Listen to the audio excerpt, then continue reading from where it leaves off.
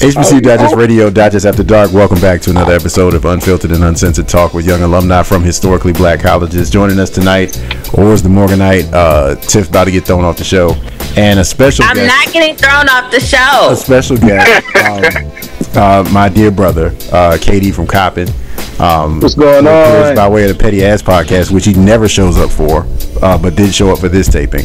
Um, so we got a we got a we got a lot to discuss. Um, it's been a while since we've had since we've had a recording, uh, but certainly a lot has transpired in the HBC community in the weeks uh, since our last uh, uh, broadcast out to you. Um, first and foremost, I, I kind of want to begin with the the story that's kind of blended. It, it's Bennett College, which we know some weeks ago uh, had their accreditation appeal and fell short. Um, has since sued uh, the Southern Association of Colleges and Schools Commission on Colleges. They remain accredited and on probationary status um, for at least the foreseeable future until they determine um, how it's going to go to court or if they're going to pursue other uh, accreditation options. And so far, uh, they are pursuing accreditation with the Transnational Association of Christian Colleges and Schools. Um, that is not old news, but it's older than recent news, which is Cheyney, uh, which is also on a show cause probation uh, with their accreditor, uh, the Middle States uh, Higher Education Commission. And as we know, Cheyney being, you know, under dispute, one of the, the oldest HBCU in the country, um, in significant financial straits, um, from most angles, more severe even than Bennett, um, and has been for years, particularly as a public institution. And this is on the heels of another uh, headline that just surfaced this week's about Denmark Technical College in South Carolina, uh, which in a few weeks is under proposal uh, to possibly uh, end as an institution, as a as a degree granting institution, and be reopened as a uh, career development center. So we bridged the three of these topics together to have a conversation about what we've talked about so frequently before, which is how are some of these HBCUs, whether geographically, um, whether through you know antagonistic state government, whatever the case may be, they're dropping. Um, if you look at those three, add that to Paine College, add that to Knoxville College, add that to Morris Brown, which just hired a new president, which we'll get into. You're seeing a cluster of schools on the verge, if not shutting down, on the verge of shutting down. Um, I would ask you guys, um, and we'll let KD start uh, because he's Hold the petty Hold ass up. guest. Um, Hold up. Hold. I'm not gonna Before we up. get started, yeah, on this 313 day, you forgot to introduce my dear brother, Lawrence Winston Coffee the Third. did third. he dial in? Is that Midnight He Winston? is here. Yeah, did you give my full government though? Midnight Easy. Winston. I did. I got it. I gotta introduce him. And No, also, no, also that he thanks hadn't for given mine. Midnight Winston, my fault. Um, Thank you. So, KD, we'll start with you. So, a, a number of HBCUs facing closure, having closed, um, and obviously there's this common theme of alumni which are really, really fighting it. Um, Bennett being the one that has drawn the most attention. But what's your reaction about the the dissonance between what financially is happening to these schools and an alumni stepping in and say we absolutely can't let them go? Um, my first thought as an alumni of Coppin State University is I hope to God we're not next. Because Jesus. Coppin's enrollment Coppin's enrollment stays below whatever it is. So let's say we need four Mhm. and we're always in the thirty two hundreds or something like that. And so my thought is we are always on that line as well. I mean, we recently, when I was in school, had an accreditation fight. Thank God we came out on top, but we still had to do some restructuring. So my first thought is, it's really not enough lo- alumni to fight this battle. What is it like, Like, to be a we- student at a school that's going through that? Um, it depends on the program you're in because they, they don't always attack the entire school. Mhm. Sometimes they just attack certain programs. So for the School of Business Management or the School of Sports Medicine, I believe it was, they were sitting there like, "Oh my God, my degree not gonna mean nothing. My degree not gonna mean nothing." Mhm. And then two years later, they rolled all of it into the um the School of Business and expanded that program, and that was their way of saving the accreditation for the business school. And so the question is like, where's the leadership? Like, why is the leadership not being honest with its students? How are you attracting new students and not telling them, hey, you know, we are in a little bit of trouble? Right? It seems like they're just pimping the students to keep the doors open so that a certain amount of people can keep some jobs, and that's just not fair. Um, or, or is that right up your alley? Uh, we, we, how many times have we talked about it before? How the transparency about operations, about finance, about your standing, and you you don't disclose it to anybody, but yet you want so much of a support system behind you when it's like, okay, it's do or die time. Right. I mean, I I couldn't agree more. But again, this goes back to my overarching theory that again one with Cheyney, it's clear the state of Pennsylvania doesn't have a dog in the fight about if they're if they're going to make it or not. The state of Pennsylvania doesn't care. But but even even more so that again even with Bennett with Morris Brown and I know we'll talk about that a bit later. But I mean it to me it's it's disgusting, it's disturbing, and it's embarrassing as someone who cares about historically black colleges to see institutions who have these you know quote unquote qualified um, quote unquote experienced, um, you know, administrators, but they operate with such low efficiency, they operate with such low transparency, and with such low integrity. And so to see what Morris Brown has done, to see what Bennett has done, and uh, I, you know, I'm always a big proponent of I'm about thriving, not just surviving. And I agree with you to some point, Jared, in terms of I'd rather have 50 strong HBCUs than be at 105 or whatever we're at you know, with with this level of um this level of operation, this level of efficiency. So it's it's it's unfortunate, but it just makes me upset because like you said, it is pimping the students. It is getting all this tuition revenue for schools that we know aren't going to exist, degrees that won't be accredited, um, and that affects communities, not just individual students. Tiff, do you think that there's a concern that if you if you let it go without a fight, or you willingly give it up, that that is a poor reflection of the sector at large. And the reason I ask that question is because the, the Denmark Tech situation, there's a the, the, there's a sister, a black woman who actually proposed this change to the school, and her remark was, "Look, the, the forget the HBCU thing, forget the degree granting thing. This is a this is a facility that what it does helps us maintain revenue and jobs in this city, right? If we keep it as a school, it's going to shut down and there will be no jobs and no revenue.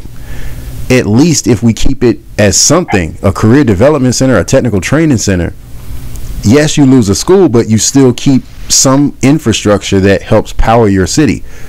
So this is this is a black person saying this. This is a black person reading it for look, we gave it a good run, it's not working, let's do this. So the civic the civic infrastructure can stay in place. But do you think people hold on to it knowing that it's probably not going to last, but also knowing that we, you know, if we don't if we don't fight for this, then this is a symbol that we, you know, we might as well hang this whole thing up that we call HBCU. Um, please see the story of Morris Brown College. Well, we're going to get into that in a second. like, when, when, when are you going to hang it up? Where is that line in the sand? You can't consistently say or do or be like I don't want to close. I don't want to quit. That's like quitting. It's not. When you take a calculated or when you make a calculated decision based on the things that have been happening how you maybe have not been improving how maybe your your programs are lacking how you maybe don't have the students that you could and you should have and they're just not coming you have to do something different like I don't I don't understand why we think changing um, how we do things mars our legacy. It doesn't. If anything, you're trying to ensure that you're going to be here in the next five to ten years, maybe longer. And honestly, this is going to sound terrible, but I thought Denmark was a career school. Well, it's a, it's a career and technical school. It's a it's a it's a it's a technical school. It's just historically black. I mean, they, they grant associate's degrees. Right. Um, and I'm like, so what is it really a big jump? It's not. Well, it's a jump in the sense that you you won't have an operation that students can use federal financial aid and go earn a degree that they can then use to transfer to a larger institution. If you get rid of that component, you just basically have a it, Would they- it- it's would not it a it's not a degree granted. It's not a credential thing. It's like you you you go to learn HVAC somewhere, and you get a you get a you get a certification, but it's not an academic credential that you could use to get somewhere else. I would have to look into how ITT, ITT Tech, Wyotech, and friends were using financial aid um, for their students because that was a whole problem a few years ago. They were using financial aid. So well, the problem the problem with them is that ITT Tech was teaching you know d- real skills. The issue was you would leave, and the industry in which you were trying to work you would say, wouldn't get played. who would hire Right. somebody from ITT Tech? So it was almost like you're. It it was predatory, but not predatory in the sense that if people are choosing to go there, how can you fault Right, the my school for is- accepting your, your money? My point is they had the ability to accept financial aid. And if that's what's in question for Denmark, then clearly if ITT Tech, Wyotech, and France can do it, clearly maybe there's a possibility for Denmark to do the same. But here's it's what we gotta reputable. here's what we got to get to because the common theme with all of these is is schools losing enrollment and in a fast way. Um, Bennett went from a thousand plus down to 400. Denmark Tech went to from 2,400 to 400 students. Um, you know, it, it's Cheyney the same thing. Um, 1,800 down to four in like a, period of six years. So this these are dramatic like they're falling off a cliff here in terms of the people that are not coming to the institution. But yet, from the outside, Wentz, now throw this at you because you you send people to schools and you try to pair students from Detroit with schools that'll fit their personality and their skill set. Do you do you guys in the midnight golf program look at stuff like that and say, "Eh, this may not be a good fit"? Talking particularly to the Denmark piece, or just no, in general just with overall, like, like when you match up the students with these schools and say, you know, you ought to apply to these three schools because they fit what you're looking for. Is the research such that you look at their enrollment, you look at their finances, and say, well, maybe never mind. It seems like this would have been a good fit, but now that I've done a little more research, maybe not. Oh no, absolutely. So you know, we we take an in-depth look at uh, you know all of those things where we're talking about where we're going to have a you know a child potentially spend the next four or five years of their their life, and you know we tell them you're not making a four-year decision, you're making a 40, 30 year decision about Right. a place you want to go back to that you want to invest in. Hopefully, when you get done, that you know you'd be giving money back to your, your institution and those things. So we definitely look at you know the, like where the the trends are headed with that school. You know, if enrollment is increasing or decreasing. Um, those are all things that, that definitely come into the equation for us. You know, for la- last year particularly, you know, being in the state of Michigan, there was a lot of talk about situation with Michigan State and the things that they were going through and whether or not, you know, that was a fit for some students based on the things they were hearing their parents having concerns and having to talk those, you know, those things through with families about what was going on there. So certainly we're looking at, you know, the news wires and, and, and looking at numbers and, and, and draw- in regard to enrollment and those things and, and determining whether or not it's a fit and why um, for a student. So certainly that would, you know, a situation like Bennett would be cause for concern. You know, I, I think especially now, you know, looking at what's going on there, and and those would be things that we at least want to bring it to the table. We, you know, we try to also encourage them that, you know, you're making the decision for you. We'll have a, you know, litany of things that we'll discuss. You know, sitting down, but ultimately you're going to make the decision. We want to make sure you have all of the information in the front of you in order to make an educated decision. Um, Can I I rebut? yeah, Can I rebut to that real quick? I think part of it is, and this is my perspective, living in Baltimore City for as long as I have. I I know for a fact that there are two powerhouses in my state. One of which is Johns Hopkins University, private. The other public one is the University of Maryland. Mm. If Coppin State University was to merge with any one of those two, we're getting swallowed up getting wiped and out, you right. lose Coppin State forever. And the only reason, and and what really bothers me about that is that the state of Maryland bailed out UB twice, actually Right. three times, if I'm not mistaken. And it's like they wouldn't do that for Coppin, Right. but they will let Johns Hopkins come in and use our new facility. right. And yeah. so that that part of it is just kind of scary to me. It's But, like, I, but I think that's the thing that State. that's where you have to have the people respond. Like if you don't like that, if you don't like that prospect of Coppin, indeed, which is like an anchor of West Baltimore, legit. Like if you don't like Yes. that, then then send your kids, then go. You know what I mean? Give back. Like it, it, forget giving back. Take that out of the equation. Go. How come enough enough students aren't going? Now we know part of that that answer is because other schools will give you more money. They'll incentivize you not going to Coppin. The, state will play a part in that by not giving Coppin great degree programs. Same thing for Morgan. Same thing for most HBCUs. But if if if that's how you feel, then vote with your pocketbook. And, I, and I don't know I think there's still it. a stigma to HBCUs though. I think we st- I think we still living in the 1980 late 80s 1990s with a stigma that HBCUs aren't of caliber to some of the PWI equivalents. Well. and, and we know that to not be true. We know that our students are far more successful coming out of HBCUs than PWIs. But the world at large still puts more to a, a UT or a Kansas State than they do a Morgan or a Howard or a Hampton. And that's just that's just the part of the community that we haven't been able to shape. And I don't know why, because I guess we can't get a hard look at the numbers, or nobody really wants to do the investigation. But it, I think we we still are fighting the stigma that HBCUs aren't adequate, even though we know it's not true. Well, you actually lead I think Go ahead. Well, I let me. think part of that too, though, is we got to start stop thinking about things like it's apples to apples because it's not. And I think we've talked several times about you know you can't try to promote our schools necessarily the same way that you would a PWI. And we get out of that phase of, of trying to do the apples to apple thing, you can start to hinge on the things that you do well, hinge on the ways that you can be successful in getting and retention rates and the types of students and you know the, the putting in those buzzwords of urban and underrepresented and every all litany of list of things that a lot of you know predominantly white institutions will talk about as far as trying to get the students there. And even if you can't necessarily put the money up, what are you what are you putting up? What are, what's the benefits of your of sending your son or daughter, your niece or nephew, whoever it is, you know, to those historically black colleges and universities? Because there are things that that stick out, and there are things that are really going to benefit a certain type of student. And if we aren't if we aren't pubbing those and having those conversations, and we're still trying to do apples to apples, I think that's where it starts to fall, continue to fall back. And you have to do outrageous things like how you know Benedict College drop in enrollment, like you know uh, uh, Elizabeth City State, you know the, North Carolina Promise, and even though there's debates about how successful or great it is, it's still doing something drastically different than what's being done. Because you're not we're not going to get anywhere continuing to go the same path that that we've been. To that point that KD's saying as far as like we're living in the 80s and 90s, like it's going to have to be something different than what it is. Well, you know what? It's actually a perfect segue into our next segment. We're going to go to break real quick, and when we come back, we're going to talk about these white folks getting caught up at these uh, Ivy League schools, buying Can't wait. buying their way in, Scott, can't wait.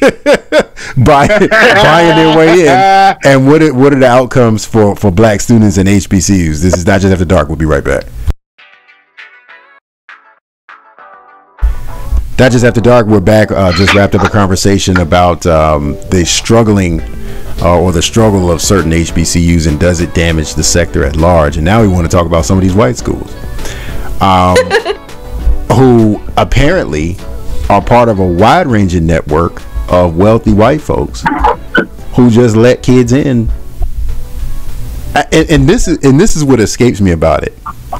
These parents are paying hundreds of thousands of dollars to cheat to get their kids in for the right to pay hundreds of thousand dollars more for them to be there in tuition. Um, that if that if that ain't white privilege, dog. Um, No. but here's the angle I want to take for it for HBCUs. I would imagine that there are some some of our black institutions that there there are people who will they may not pay hundreds of thousands of dollars for them to cheat to get in. Um, but they certainly will try to work their networks to, to take advantage of being a part of that hierarchy. So Howard Hampton, Tuskegee, um, you know, those are some of the schools where a parent might call in or may call a trustee. They may call somebody they know and say, "Hey, you know, I got to get my kid in." But is that I won't say is it I'm going to ask the question is that just as bad as breaking the law to do it? But is that should that be a part of HBCU culture, trying to wield whatever influence that you have to get somebody an opportunity, and and and whatever benefit that may come with, whether that's a scholarship that they may or may not deserve, whether that's a, a housing placement they may or may not deserve, whether that's a passing grade they may or may not deserve. Do you think HBCUs should have a part should have that? Um, I guess influence as a part of their culture. Tiff, since I mean, you I would since- say- now let's start with Tiff because she went with Howard and she Go- thinks it's better than ahead, everybody, Tiff. so they more likely. What? what? Should that Howard bias be a part of HBCU culture? First of all, there is no Howard bias. That's a lie. That's number one. Can you just answer the question? You always got to put this first of all every damn time.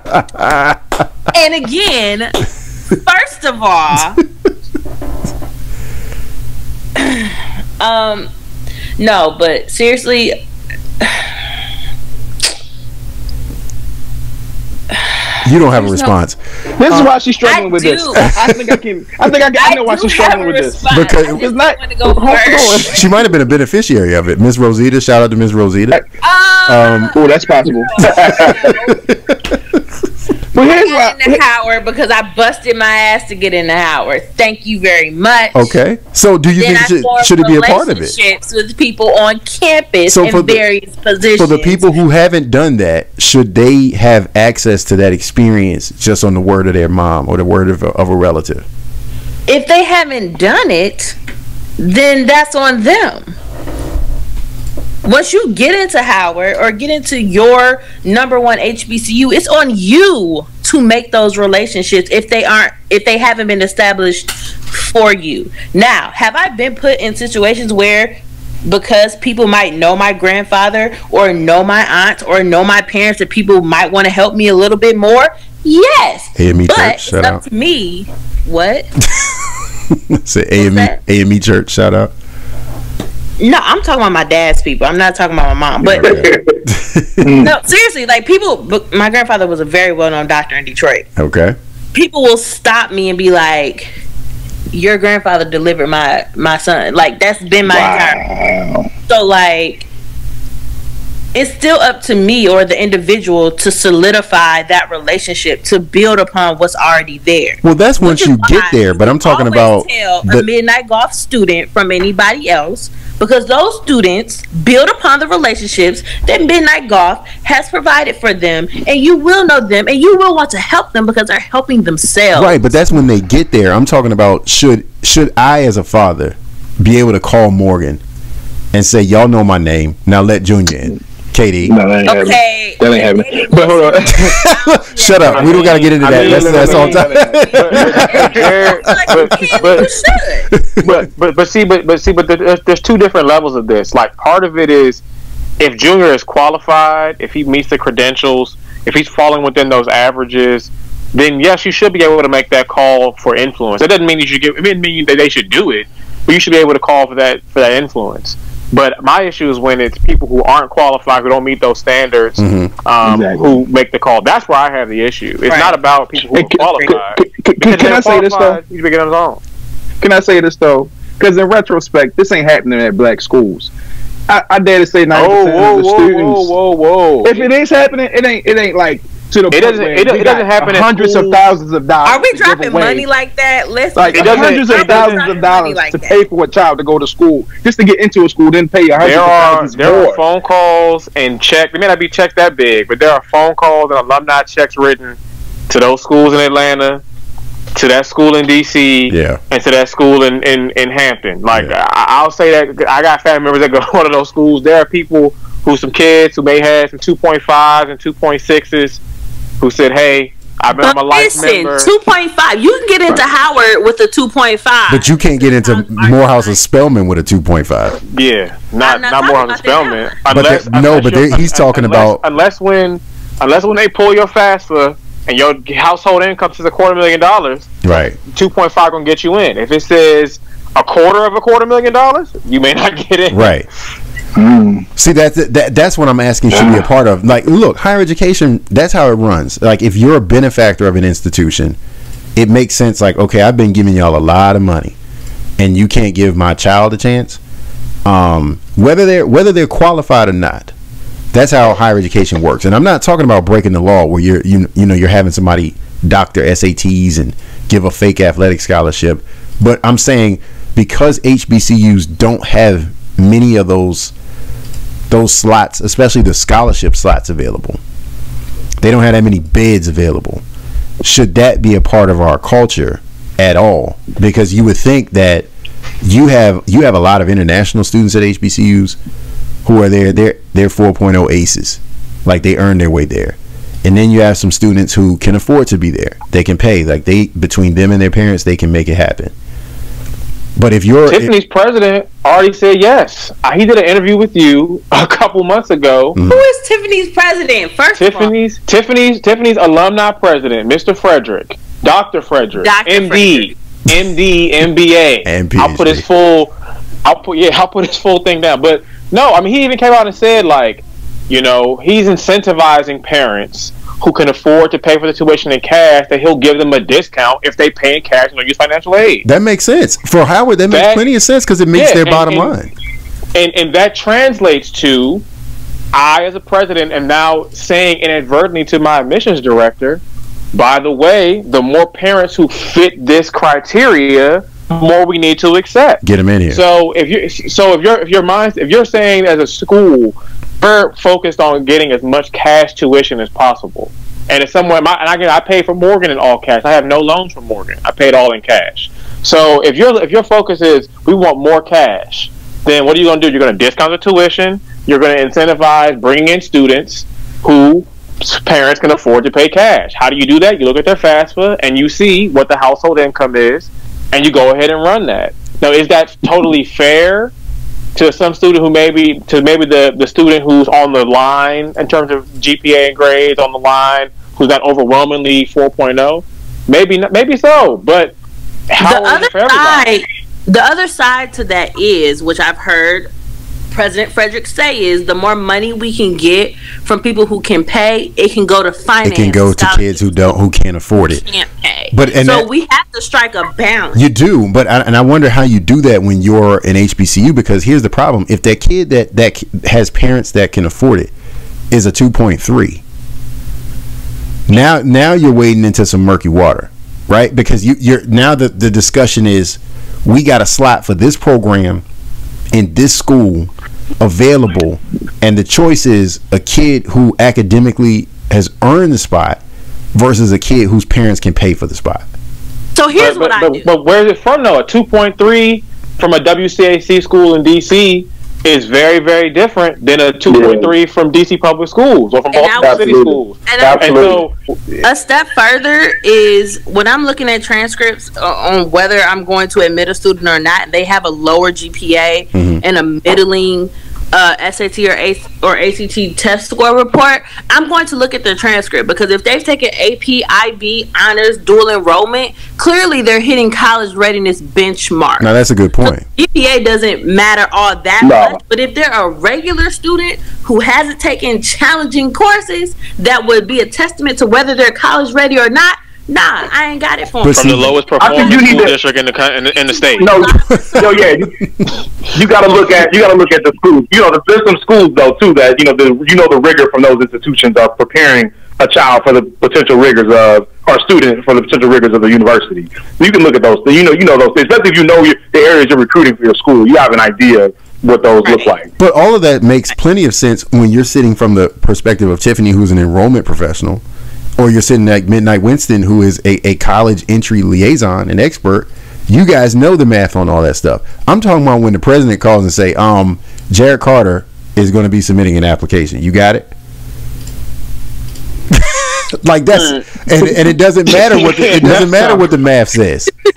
It doesn't matter That's what tough. the, it doesn't matter what the GPA says. It doesn't matter what the it doesn't matter what the checkbook says because if the, if that school is Morgan State and somebody calls and says Jared Carter said it, then you not acknowledging that means somebody gonna wind up in the digest in about a week. If I don't, if I, if I don't get the answer that I want. Look, So- okay, look, you, can't, you can't use yourself as an example because, like, no. We all know. We all know that you ain't got no pull at Morgan. we all know this. First, first of all, Jared got more pull at Morgan than, than, than y'all give him credit for. He don't got no pull with Wilson. I don't got he no got pull with plenty of Wilson. pull at Morgan. Wilson is not all of Morgan. Wilson is not Tell a him- tell him, representation of my Morgan, alma I- Okay. All I know that was a pretty gangster line that he dropped though. Like you don't want to end up in a digest. Try me. you don't want a headline, bro. Let me um we're gonna switch gears real quick and this is gonna be Orz's uh segment coming up next on uh Digest After Dark. We're gonna talk about this storyline, which really isn't a storyline like I thought it would be. Um but this the the proposed separation of the School of Law from Texas Southern University. This is Digest After Dark. We'll be right back. Digest After Dark, and we're back. Just wrapped up a conversation about uh, rich black folks trying to buy their kids into school. Uh, how I have some pull at Morgan, uh, just not over the president. Um, and should that be a part of HBCU culture in light of what we're seeing with the illegality going on with um, white folks trying to do with the Ivy League? Um, but we want to transition into something a little more serious and a little closer to home with HBCUs, and that is a, a headline that really isn't a headline um, which is the proposed a legislative proposal down in Texas to separate Texas Southern University School of Law from the university. Uh, the proposal suggests that the law school will operate as a standalone institution with its own board, um, its own budget, and the right to eminent domain in a certain land mass around the campus, um, effective September 1 if it passes. Um, or as you live in the third ward proper, uh, you go to school, uh, not at Texas Southern, but adjacent. So we don't need to mention your PWI ties.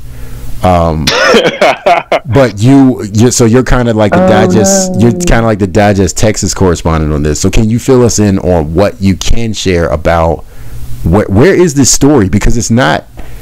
I haven't seen it anywhere else but the digest, and that's crazy because I wrote it. So it's not in the Chronicle. It's not in any of the black uh, newspapers down there. Where is this story and like what's happening? So right now, it's really just between alumni um, of TSU and you know the people who are involved in in the space, like I am. A lot of my classmates at my PWI uh, grad school program are TSU alumni. My corporate fellow is a TSU MBA alumni, and he also is a member of their business advisory board. So, um, oh, for the former class I had, not my not my next class, but so I've I've had some conversations. I've spoken to my state representative, uh, Garnet, um, and I've called Dutton's uh, office, the representative who made the legislation. I've called his office numerous times. What it basically sounds like is that, uh, and from what I've gotten, is that Dutton, his position is trying to protect the university, potentially protect the law school and the law school's integrity um, because I think that he doesn't have faith in wherever um, TSU as an overall institution is leading, and I think that his his idea, though I disagree with it, is that if we save the TSU Law School, then at least we can save that vital arm of what used to be TSU. And I'm purposely not using the law school's name because it's he's used it in the legislation as a way to separate the institution overall from the individual school of law. Um, because again, we know TSU School of Law is one of the best HBCU law schools. Some would argue it is the best um, in terms of putting out black female judges, black female prosecutors, especially in Texas, in Louisiana, and the neighboring areas. So, my perspective is Dutton's legislation is basically to protect the law school at the expense of TSU, um, because I believe he thinks, like many other people believe, that there is a larger state power moving in the city of Houston. Um, they already have a medical center there that has a med school, and they offer MDs and PhDs and, and a myriad, myriad of, of sections. As we know, Howard University's president did his residency there in Houston at the University of Texas Medical Center. Um, and then also you have a, a UT MBA program that operates in the city of Houston. And so I think that that's really what um, what Dutton is, is trying to protect the school, protect, protect the law school from, because obviously you already have a publicly funded law school in the city of Houston, and you have a private law school a block away in South Texas College of Law, and you have TSU's law school. And Texas is the kind of state state that will consolidate. Um, and obviously, TSU's mission since its inception has been to try to survive against UH, and they've done pretty well at that if UT comes along, eh, their survival isn't going to be as imminent um, because of the power and the money that UT has. Um, as we've seen what they've done in the city of Dallas. See, this is what is bothersome to me about this story. One, white people ain't talking about it in the news, which means that they there's something that they want to have happen, and they don't want to draw a lot of attention to it. If you don't believe that, try to find coverage of the Maryland HBCU lawsuit up here because they've been having a whole bunch of negotiations and proposals made. You can't find coverage of it anywhere. Um, so that that is troubling that a legislative bill has been proposed to split a law school from a, a, a, from a black college, and ain't but so many black law schools in this country, and nobody's saying a word about it. That's number one. Number two, maybe I'm stupid, but Tiff, KD, Midnight Winston, y'all correct me if I'm wrong. If a if a school got word that a larger system was coming in and and possibly going to incriminate on them, steal students, steal resources, and all kinds of stuff and somebody said we're going to save the law school not the university but the law school doesn't that strike you as a little odd? That's that's almost like you know eh, we, we go into morgan and somebody says well you know hopkins is getting ready to take over all of east baltimore but let's save the school of engineering so no, I, I, don't, I don't mean to cut in real quick. One thing I did want to mention, just to, just for reference, TSU is independent, just as Morgan's independent. So TSU is not a part of any any state system. Correct. Unlike the majority of public HBCUs, TSU is independent, which puts them in a different space than a PV, for instance, which is in which the is system. part of the Texas, A, which is in the Texas A&M system. But my question So, is, but tech, yeah. but but UT coming in would suggest that okay, if we set up anything in Houston proper, in the in the in the anywhere in the region, that whoever and whatever has been going to TSU is probably going to go to UT. That because they're going to have the scholarship infrastructure, they're going to have the technological infrastructure, the facility infrastructure right away. They can build tomorrow. They like the, they like the Marines. They goes like the Marines, KD. They ready to fight tonight. Right, Like- and it goes back to our first conversation: is well, how do enrollment go from eighteen hundred to four hundred? Right. That's how. That's how. That is That's how. exactly how. Yeah, it's it's troubling because if if it becomes separated, that's even more of something that would support or create a barrier for black students pursuing a legal education at Texas Southern. Now, let, now Or- And don't and, and, and, and don't forget Texas Southern's law school is one of the most, if not actually, I'm, I'm not saying it is the most profitable section of the school. They make more money on law school tuition, law school graduates giving back than any other area of the school. Like that that is the money maker. Now, so so you- there's, So, like, and there's some other things that we have to talk about with that people- too. I don't mean to cut you off, Tiff, but I want to throw this in there. There has been Texas Southern law in recent years has been under fire because the, the, the graduates have not been passing the bar. Um, and so they've been criticized, and the state has been critical about saying, well, how is it that you, you know, you're one of a, of a handful that we have, the only one that's dedicated to minority education in law, and you're underperforming. So I wonder how much of this is tied to that. Like, we feel like if you if if the school was separated from Texas Southern University, that there would be a better chance for leadership, a better chance for improving. But also keep in mind that a lot of those scores are coming from prior to Lane taking over. When Lane took over, a lot of people were fired. Hit the first class to fully come in under under his his leadership fully in terms of recruiting, coming in and finishing won't graduate till um, either 2020, either 2019 or 2020. So th- those standards are still based off of you know old cohorts, and you know law school people just you start and you finish. There's no there's no in between. So I, I think that, that some of that has a bit, been a bit harsh, but again, the the biggest issue, and this is for all HBCU law schools, and I know Eric and I went back and forth in the chat with this, looking at the numbers. It, it's not really a fair apples to apples comparison you look at these with these bar passage scores, but even more so, even like Tiffany was saying, access to, to, to black lawyers. I mean, there really is no other option in this area besides Southern. And then if, once you get outside of there, there's not a lot of public law schools that are going to accept HBCU students in the state of Texas. They may get into UH, but even a lot of UH undergraduate black students go to TSU Law School. So it's a it's a slippery slope. But even then, just nationally, it's Texas Southern, it's Southern, it's FAMU, it's North Carolina Central, it's Howard, it's UDC. That's it. Mm. That's it. That's that. That those are the only black law schools.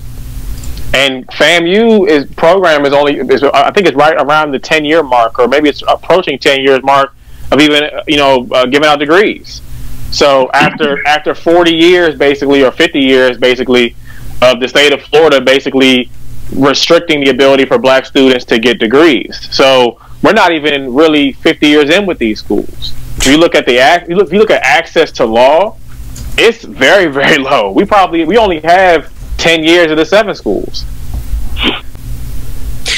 Yes, and what I was going to say before I was interrupted was that you probably um, interrupted everyone else. If you if you would cut down your intro and give your answer, you wouldn't get interrupted. You definitely said I don't mean to cut you off, Tiff. That's true. I did. Right. I apologize. Mm-hmm. As I was saying, um, she is so spicy.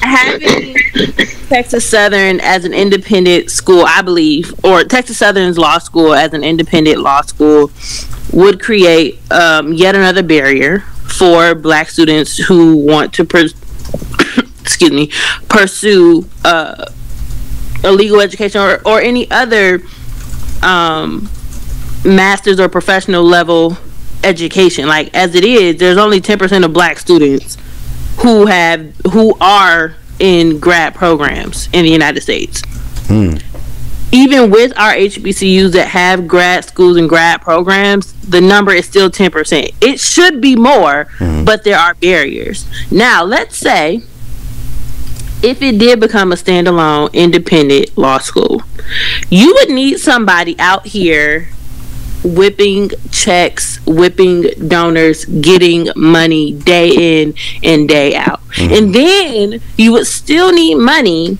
or still need to have specific policies in place to spend that money on students from HBCUs or other minority serving institutions to get into your law school to make it accessible. They can take it. okay, let's say you, you you're right. You want to protect the school and make it stand alone. Who's to say that the University of Texas doesn't move in right next door and say, "Give me that school"? Five years from now, and close and, and say you can close this undergraduate school because we just took their best program Right. We can right. say we can we can add them to the UH system real quick, or add them to the T, to the UT system real quick, and go and keep it player. And that's all that that's that's all is gonna. Ha- I mean, again, like I don't go to TSU for my graduate degree for a very specific reason. It is due to the lack of funding and the lack of innovation within the program that just wouldn't work for me as a working professional pursuing a higher um, a higher degree. But if TSU didn't. If, if they move the law school, how can they survive? I mean, I, I see the situation of separate and divide. I mean, se- sorry, separate and conquer. I mean, sorry, divide and conquer. All they're gonna do is divide them up and say you can't survive on your own. You can't survive on your own. None, neither of you deserve the money. The scores are bad. Enrollment's down. We're gonna come through and take this very, very, very high price, high in demand downtown Houston land because let's not let's not forget mm. also mm-hmm. TSU is not in Waller County. Right. It is in downtown Houston, Texas. Right. I you know it, it, it just goes to show you how how long people in power can can lie in wait and plan. We were talking off air about Texas did this or UT did this some years ago and it got it got rejected. U U of H system said we don't want it. A lot of lawmakers said we don't want it. Um, but it, it, goes to show you that if, if the University of Texas has anything to do with this, this is something that they've been plotting on for years. And even to draw it closer to home, KD, how long have we heard rumors just up here in Baltimore about something's going to happen between UB, University of Baltimore, and Coppin? Man, we've been fighting that. Well, I ain't gonna say we've been fighting it, but we have been on high alert about that. They've been saying it for years. It's never 10. happened. It's never happened. Yeah. Like people don't propose anything, but they've been saying it. Somebody will crop up and say something every couple of years, and it just goes to show you that these and large it's always systems. And, now, and my and my and that's why I brought that up because it always is. We need to bail UB out, not we need to bail Coppin out. Right. Now, I'm not saying Coppin is in a great space, but I'm saying we were much better than UB. Right because we don't go in debt every five years to the point where we need the state of Maryland to say, "Give me some money, please." And UB is still struggling. On top of that, enrollment is still down. Um, which Now, actually, UT is a whole different animal though, because if they anything like the University of Maryland, then yeah. I don't see that's a hard. First fight. of all, Oh, they're, yeah, they're way bigger, way better. Like University of Maryland. right. They laugh at of that. Maryland is smaller. It's smaller than UT System's number four school. Right. Wow. Right. I mean, don't forget, Texas is a you got. Right. you got UT, you got it should UTSA, Right. UT Arlington, UT Dallas, and UT all just those four schools is like two hundred thousand students. They're probably looking at it. How how are we not in Houston? Who says we can't be in Houston? We're in every other major city in Texas. In what do you mean? What do you mean we're not in Houston? But it actually takes us to our final crazy. topic tonight, and we're going to take our last break. And this is one we're going to kick over to Winston, um, which is some some positive news for HBCUs. Very positive news. For the first time in about seven years, enrollment collectively at all HBCUs is up uh, for the first time in nearly a decade. So we'll talk about that when we come back. Mm-hmm. Just after dark. Digest After Dark, we just wrapped up a conversation about uh, the proposed separation of the School of Law from Texas Southern University um, and the ramifications that could have. Before that, uh, conversation about uh, some of our struggling HBCUs and some of these white folks stealing their way into school. Um, but now we um, have some positive news. So this is actually from a few weeks back, but it's certainly worth bringing up today. Uh, for the first time in seven years, enrollment, total enrollment at HBCUs is up. Um, and what makes this significant is that for the seven years prior, where we lost an average of 10,000 students a year between 2012 and 2015, and then that dropped down to about a thousand students a year for the next three years. We're now up 6,000. Um, so it, it suggests two things. One, that uh, clearly something something happened between 17 and 18 um that that Don't be silly. no well you see i know Don't where you want to go and i'm not going there because a lot of people think 45. 45. a lot of people think a lot of people think that it was Trump. A lot of people think that it started with Missouri and the student protest there. I tend not to I tend not to believe that. And here's the here's the reason why. And, and this is just my theory. If we were going to use HBCUs as a an expression of black pride, wouldn't we have done that in 08? And when we have done that in, in 12? why do you, why do you wait or to be honest with you enrollment was going up at HBCUs although I, you know our record high for enrollment of HBCUs was 2011 the year Mm. before the bottom fell out with the plus loan thing the record high of HBCUs was over 326,000 Hmm. that was our highest Mm. of all time and then the plus loan thing happened and we and we dropped by four uh, you know maybe 38 38,000 over the next several years but if it was if it, if HBCU enrollment was going to be an extension of racial pride, wouldn't we have done that for Obama? I tend to say no. he wasn't our president. Whoop. No, it's not even, I won't- I'm not going to do that. We're not going to do that. We're not going to do that. We're not gonna- Yikes. we are not going to do that. Oh my Oh, god. I, I'll do it. Wait, who said that? Was that KD or That was Oris? KD saying That was he's a- Orr. KD's Obama fan. Me and Oars are not. Yeah. Winston is neutral. Yeah. Um, I'm definitely neutral. well, Winston, let me, let me ask you this. So these are, we're going to, we're going to give you the, the kudos because you single handedly, in my mind, helped these six thousand kids get to these HBCUs. So kudos to you. Hold the hell up. Wow. Stop. 6,000. Tiff, you had nothing to do with it. You about to be thrown off the show. Um, Winston, Whoa, whoa, whoa, whoa, whoa, whoa, whoa, whoa, Hold on, let me finish asking the Wow. question. Winston, so for, from your perspective, and Tiff, you can also weigh in. Oh, oh. What thank were, you so were you guys getting? Were you guys getting feedback that this was about racial tension? This was about, I guess, racial uprising and, and kids choosing HBCUs. Um. So for, for us, you know, I think in being in Michigan, one of those those states that unfortunately we don't have an historically black college university in our state lines. Um, I think a lot of you know students not going in those directions. At least speaking from our program perspective, is just a lot of lack of our people perish out of lack of knowledge. You don't really know what options or opportunities are available, and you know, for us, the state schools when they're hitting the kids hard, especially need those minority numbers, and they're hitting you know those the kids in Metro Detroit really hard, trying to get them to transition to to those options that they're just like, oh, I'm just going to go to Eastern Michigan because they come to my school every week, or you know, I know Michigan State has a bunch of black people there, so I'm gonna go, you know, there, or whatever the situation, whatever the, the case is. I think a lot of it for us was just the lack of knowledge. What we often find, or what I often find when you're counseling, is talking about general options for students in general, and I'm always trying to bring at least, hey, let's at least have the conversation about historically black colleges and, and what are you aware, what's your knowledge, how much are you aware of them, is when we start that conversation, it's like, oh yeah, my uncle graduated from Tennessee State. Oh, I had an aunt who went to, to Morgan. Oh yeah, I've heard of, you know, Morehouse or whatever the situation is, and then it's, okay, well, let's do some little bit, let's dig a little further into what's, what, what these options really are, what they bring to the table, what's unique and what, what benefits exist there for them. Um, I would say, funny enough, and you said 2011 was um, the year that, the, that it was the highest um, for for us as a, from a program perspective, 2015, for whatever reason, we had a ton of kids that year mm-hmm. who were curious about about the option, and so much so that the Detroit Free Press or the owners of the news or the Free Press, they did an article about it because mm-hmm. we had like uh, almost half of our kids, I want to say at that point, who were like just seriously looking to and were curious about the option.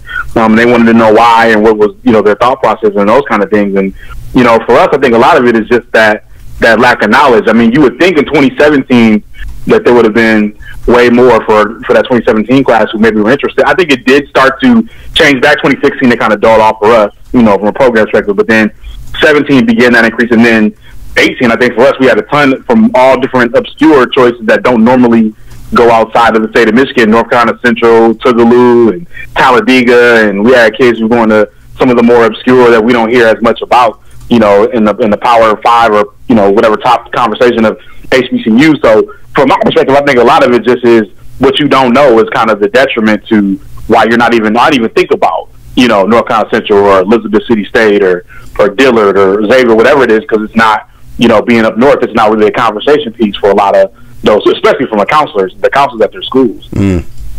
Tiff, you were responsible for about ten students getting in. Um, what, what's your what's your perspective? See, hold up. See, first of I'm all, the petty one. I'm the petty First one. of all- I'm the see, petty first of all, You know what? That's the other one. You know what? Anyways, um, no, what Winston said about students and guidance counselors just not knowing that really is 95% of the battle. So, in terms of yes, educating them about HBCUs as a strong and viable option, cool. But following that up with policies and procedures, that's a mm. whole other thing. Mm. And, and we haven't caught up, at least in Michigan, in Michigan, like that yet. no. But I'm working on it because I'm I'm dead ass. Don't invite me to your lunch. I don't want your 30 minutes. Don't invite me to. I Well- want your undivided attention to this matter with Right. your students, with your parents, and with your guidance counselors. Because there's No no, way that you are responsible for 500 plus students and you don't know that HBCUs are a thing. And Yeah, literally. guidance counselors who literally just don't know. That's real. I like to I like to take it from a, a different perspective too. Um, I think it's a social economic thing. Okay. Aren't our schools cheaper than most PWIs? Right. yes. So it's like if my in-state, if you if you if you have a, a HBCU in your state and it's cheaper than the UT, the University of Maryland, the Penn State, why not just go to school where it's cheaper? Especially if you pay attention to the news, higher education is under attack in general because people feel like degrees are worthless, but a, a good portion of the work that you can do out of college is going to get automated. Um, and so you want this process to be as cheap as possible. There is another, and the other thing is that a lot of students are going to um, community colleges first. And so I think the guidance from a community college is a little different than the guidance from high school. Because an a community point. college Yeah. has a lot more connection in the area and they tend to connect with the cheaper institutions because it's easier to get those students in and they need enrollment anyway. And those programs are a great bridge between, you know, what you can do at an um with an associate's degree and what you can do with a bachelor's degree. When you see it jump that dramatically, when one year you lost a thousand students and the next year you jumped plus six thousand, I think it's not just people concerned about affordability. I think it's some students who can afford it outright saying, "I'm going to choose an HBCU." I don't necessarily Absolutely. think that it's it's a situation where again this is where this is part of our racial rebellion Um, because if, if that were the case, I think in my mind, you would have seen enrollment jump, KD, like you said, at some of the the upper crust HBCUs. You would have seen Howard go off the charts. You would have seen Southern go off the charts. Um, you, you know, Hampton, Tuskegee, all those Wait. upper tier We're- institutions would have just jumped off the radar. Like, oh, we're up four thousand kids. If that was if that's what it was going to be. But but wait, wait, wait, wait. You're talking about enrollment as in students who have enrolled, not necessarily how many they admitted. Correct. This I is just this is just straight up FTE enrolled. Yeah. Right, but like they could have what they could have admitted a large amount of people, but if they don't come, then they don't enroll. I mean, but So- but the admission thing that that's never really the discussion because HBCUs do admit a lot of people, and they, They get do. My, sis- they my get a lot of sister got applications. uh, my sister got admitted last in, in September, and she didn't even start her senior year in high school, and she's on her way to Morgan. So admittance is not an issue. right. It's the, how many how many But I'm saying invite to campus of- is not a problem. Yeah. But but we're talking you you use Howard as an example. Who not who who if they get admitted to Howard, who not following up with Howard? Like that's that's Um, tons and tons, Quite a tons few of quite a few people. no, no, no, no. hey, Because That here's bill no, let's let's so Students let's who let's that take bill that is example. high. But see, but see, it's, it's, it's one not just semester. Here goes It's Howard not- bias. knowing full well they can't pay outright. Who, if they get their admittance into Howard, who's not gonna follow up if but, But only see- for one semester? So But hold see, up, but- wait a minute. But, but but but again, you're taking from a, a- a standpoint of somebody who's going there because they want to be at Howard and Howard only. There Mm-hmm. are tons of students. I mean, I guarantee you that 85% of Morehouse and Spelman's, um, you know, people who people who got in their freshman class got Howard and Spelman's letters as well, and they said, "Nah, I'm good. I'm going to Atlanta." I'm going The to same And way, that's and, fine. and, and Again, vice those versa. same people that have Exactly. Those So, feelings the same pool- and experience all that they can for however long that they can. Is my point. But but but the, the major difference is that Morehouse and Spelman don't have the retention. I'm not saying Howard has a retention issue, but they don't have the retention rate that Howard does. I'm gonna give you a Those perfect. girls Oh. stay. I'm gonna give you a perfect example. There was a I saw a headline the other day. A young lady who, at 16 years old, had graduated undergrad and was going to law school. She got into Texas Southern. She got into Southern. She got into Howard. She applied to several HBCU law schools. Guess where she's going? Southern. Southern Methodist. Southern Methodist. Yikes. You. So to your Christ. point about would you who would turn down Howard? Apparently a 16 year old. I'm not, I'm not gonna do that. And and and, and, not That's gonna do that. tough. She, and accomplished a SMU lot. SMU is a tough. SMU is a outlying person who is White- 16, still a minor. Um, There's SMU one is more an point old money, old money, old old Texas oil money white school. Like it ain't even diverse. No, not at all. Not at all. SMU, hold on. I got I just one more point that I wanted to make that I thought about just now in this conversation.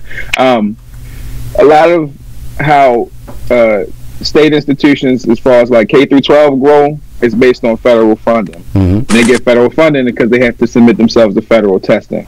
Well, PARCC, um, which I think is the national test, Mhm. is geared towards college readiness. And so if you're going to do that, you have to tell everybody about all of their options. And so I think that's where a lot of the educations about a, education about HBCUs came in, is because now I have to give these every student an option. All of this is, is it's very complex, but it comes back to one simple thing: go to an HBCU. You do that, you solve all the problems. It's most of the problem. Most of them, right? There's a lot of things we got to get into in future episodes. So, with, that, with that, I, Yeah. I appreciate y'all tonight. Like your alpha bias. Ah, God, um, I didn't, I didn't gonna- invite another alpha. gonna Who, that on yet? Who- we gonna go back to the chat? who invited another alpha on the show? Well, Oh, okay. Because your other alpha brethren lost his damn mind. Right, and you replaced him Which with one? another alpha brother. Yes, A I did. for the for the record, for the record, I am not Greek. for the Me record, neither. I didn't even lead in with the, my Greekness. I, that's not how I wanted to be identified this evening. But Tiffany won't let it go. Won't let it go. Thank y'all. Thank y'all so much. Or is the Morganite? Thank you for dispatching live from Houston. Um, Midnight Winston, thank you for the extra 6,000 students at HBCUs. Uh, Hey, yo. Thank you for the profanity tonight. Um, you're definitely getting kicked What? off. What profanity? Dear brother, thank you so much uh, for coming on the show. Not over my house for dinner, but on the show. Um, greatly appreciate it. And um, so, are we going to do this next week or? It takes ten minutes to get up this driveway. That's true. Um, it does. that's true. so, are we going to try to do it again next week, Tiff, or we got to look Uh, at this later on Google this Doc? week because it's still spring break and we got episodes to get out. That's true. All right. Thank y'all so much for listening. This has been Digest After Dark on HBCUDigest.com and Sirius 142 HBCU, the Howard University uh, Sirius Satellite Radio Network. Thanks for tuning in. Peace.